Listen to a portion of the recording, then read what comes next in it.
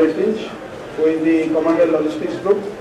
চট্টগ্রামে বাংলাদেশ যুক্তরাষ্ট্র নৌবাহিনীর যৌথ প্রশিক্ষণ ও মহড়া cooperation afloat readiness and training শুরু হয়েছে। সোমবার চট্টগ্রামের বানৌজা Isa Khan school of maritime warfare and tactics মিলনায়তনে এক যৌথ প্রেস ব্রিফিংয়ে বাংলাদেশ নেভি ও ইউএস নেভির পক্ষ থেকে এই মহড়া ও প্রশিক্ষণের বিস্তারিত তুলে ধরা হয়। প্রেস ব্রিফিংয়ে বাংলাদেশ নৌবাহিনীর পক্ষে বক্তব্য রাখেন commander BN fleet, rear admiral M Nazmul Hasan এবং ইউএস নেভির পক্ষ থেকে বক্তব্য রাখেন ওয়েস্টার্ন প্যাসিফিক কমান্ডের কমান্ডার, রিয়ার অ্যাডমিরাল মারেটাইন্স।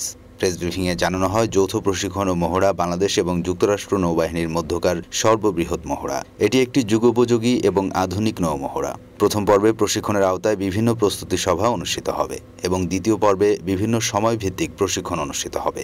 বাংলাদেশ নৌবাহিনীর উল্লেখযোগ্য সংখ্যক সদস্য এবং এভিয়েশনের সদস্যরা এই প্রশিক্ষণে অংশ নিচ্ছেন।